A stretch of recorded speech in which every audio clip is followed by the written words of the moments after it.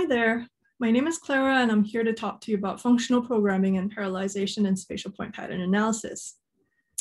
So my project is on the geospatial analysis of Airbnb in Singapore and the data is taken from Inside Airbnb um, from September 2020. Um, so for this project, we're trying to determine if Airbnb listings are clustered in Singapore and where they occur using Ripley's K-function test. And we use it to split by room type and the region type. Um, those are the packages that we use, and I want to really talk a little bit more about how we parallelize the, um, the k-test um, for faster, um, for larger data sets. So how does the k-test work? SpatStat provides the function Kest to compute an m-bias estimate of kt. And then basically it runs a series of Monte Carlo simulations using the envelope function and compares it to the theoretical value. Now, if they are completely spatially random, um, meaning there's no relation to each other, um, it will fall within the envelope values. Um, of course, we reject that null hypothesis when the simulated values fall higher than the upper bounds of the theoretical values, and that means that they're clustered, or if they're competitive processes, this simulated values will fall lower than the lower bound of the theoretical, the theoretical values. And this is what it looks like, right? So in those two graphs that are shown, this shows signs of clustering. And for the graph on the bottom right, it shows complete spatial randomness because the, the uh, the simulated values are within the envelope. Now, issues are, it starts being computationally intensive for large data sets or data with non-uniform observation windows. Um, additionally, there's no inbuilt parallelization methods in SpatStat. That means you've got to use your own way of parallelization. And it's also dependent on OS. Functions such as mclapply from the base parallel package works for Mac and Linux, but not for Windows. So what we did was obviously split the analysis to make it less computationally intensive and also create functions that benefit from functional programming, such as an envelope function and the plotting function. So I wanted to go deeper into the parallelization because I realized that there were not many um, assets or things around this area.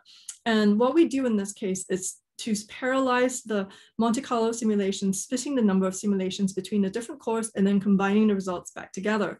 So first of all, we set up the clusters. The code here below um, shows you how that is done. This is obviously calling all the libraries of doParallel and um, foreach.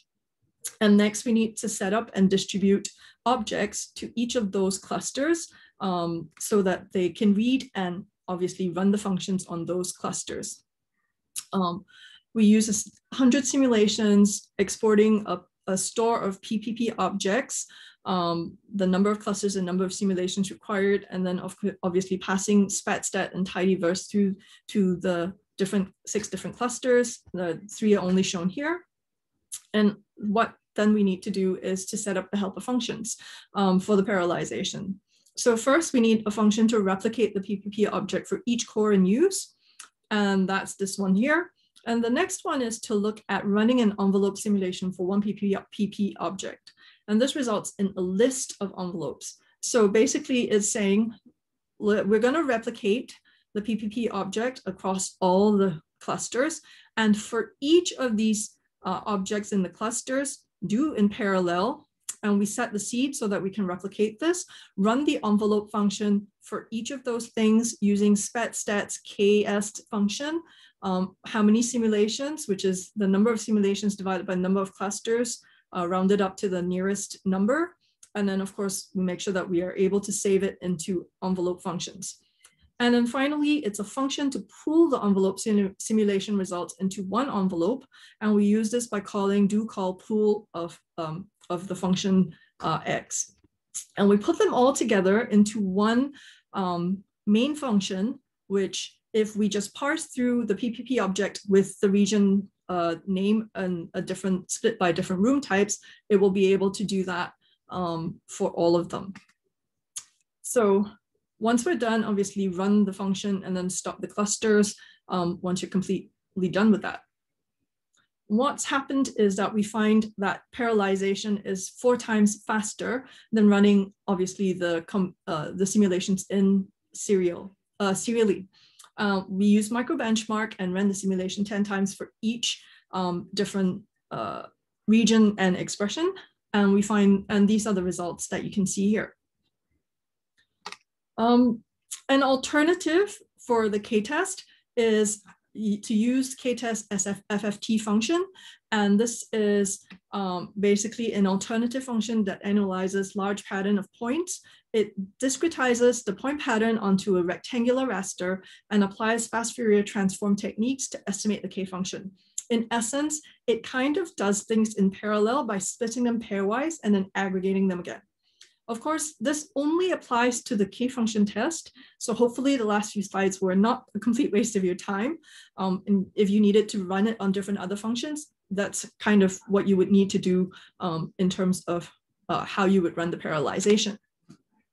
So uh, this chart just shows the difference between running the fast Fourier transform and a normal uh, k-test on the central private uh, central region private rooms. So the main takeaways from here are one, learn parallelization so you can apply it to your problems and then make your computation a lot faster. Um, two, um, I guess learn how to set up a VM with better hardware specs. And that's what I had to do in, for the second half of my project on geogra geographically weighted regression. Um, and three, RTFM. There might actually be a function written specifically for your problem. Um, you don't know till you've gone through it. So that's basically it. Thank you very much. And if you want to see the code for some of those things, you can be you can find that in the RPubs or go to the project page where I've put um, most of the data wrangling and all the other parts of my project in there. Thank you.